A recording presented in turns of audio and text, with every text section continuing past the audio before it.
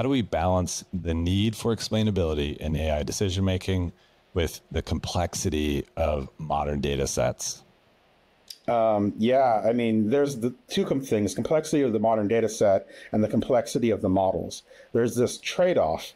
You know, do you want more complex models or do you want more interpretive models? Right. If you're using linear regression and decision trees, you can figure out what's going on pretty easily. But when we start using neural networks, it becomes much, much harder. Right. Um, and, you know, that depends on the use case. If you're if you're doing like ad targeting, maybe you don't care that uh, you know like show me cat videos you know? No maybe maybe you don't care that it that you are explained exactly why that decision was arrived at. But on the other hand if it's a medical diagnosis of hey we think you have cancer you really want to know why it thinks you have cancer. Right.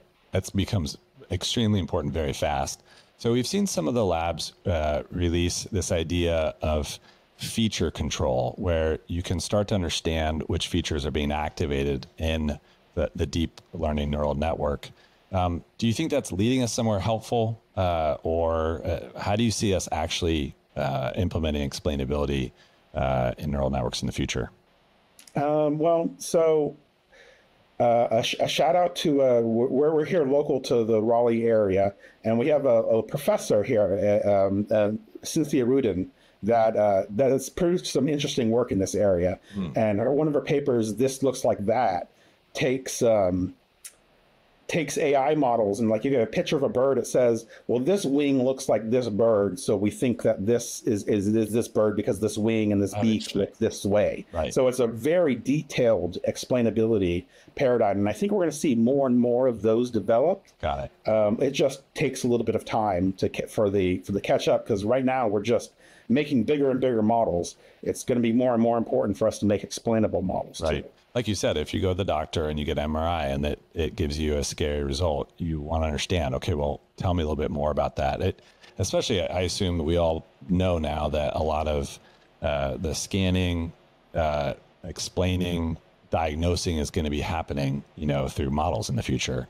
Um, and they, they'll be more accurate, um, but we also understand why, because there's not a human talking to us on the other end. So, um, let's keep moving on to uh, talking about diversity inclusion. So, what are some of the strategies for promoting diversity and inclusion in AI development to ensure that these systems better reflect the needs of a massively diverse user group?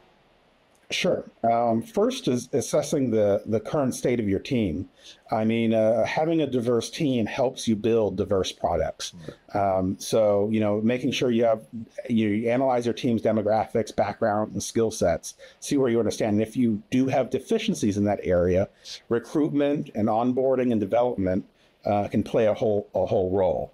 Um, and then when you do have a system that is working, doing uh, involved in diverse perspectives and user experience testing.